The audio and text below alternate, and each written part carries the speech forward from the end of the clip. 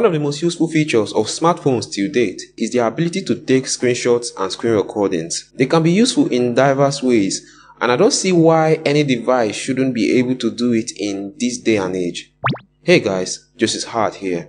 In this video, I'll show you how to screen record on Android and iPhone. To screen record on iPhone, swipe down from the top right corner of the screen or from the bottom edge of the screen for older devices to access the control center. You should find the screen recording icon in the control center, but if you don't see it, go to settings, then control center. Swipe down until you find screen recording and hit the plus icon next to it to add it to the control center. When you go back to the control center, you can now see the screen recording icon. Tap on it to start screen recording. When you are done, go to the control center and tap the screen recording icon to stop recording. To screen record on newer Android devices, swipe down from the notification bar to access the control center. Then swipe left until you find the screen recorder.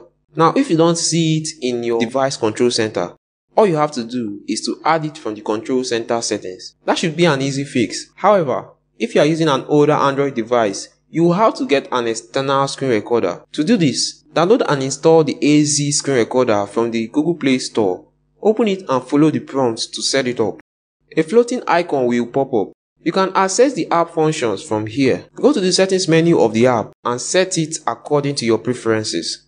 Once you are done setting it up, tap the floating icon and hit the camera icon to start screen recording.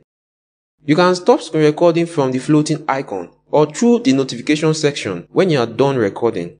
A similar app that you can use to do the same thing is the X Recorder. Let us know what you think in the comment section below. Like, subscribe and hit the bell icon so you don't miss any of our videos. Thanks for watching. Bye bye.